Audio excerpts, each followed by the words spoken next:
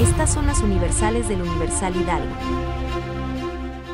La entidad se encuentra entre las 12 que ya reportaron fallecimientos por esta causa, pues en el país suman 19 fallecimientos, de acuerdo con el Sistema de Vigilancia Epidemiológica de Enfermedad Respiratoria Viral.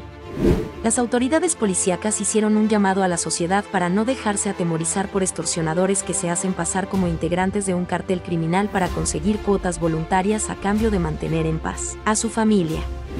luego de que el Instituto Estatal Electoral de Hidalgo aprobó la manifestación de intención de 26 ciudadanos que aspiran a obtener una candidatura independiente para los ayuntamientos de la entidad. Solo cinco de ellos han publicado información sobre sus acciones para recabar firmas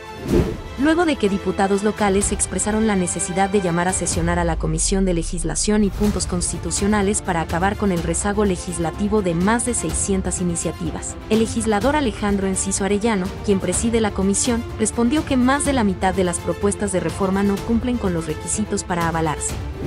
Marisela González, originaria del municipio de Simapán, quien se ha caracterizado por ser una intérprete en canciones de lengua materna, fue nombrada la primera representante para el Consejo Nacional de Pueblos Indígenas.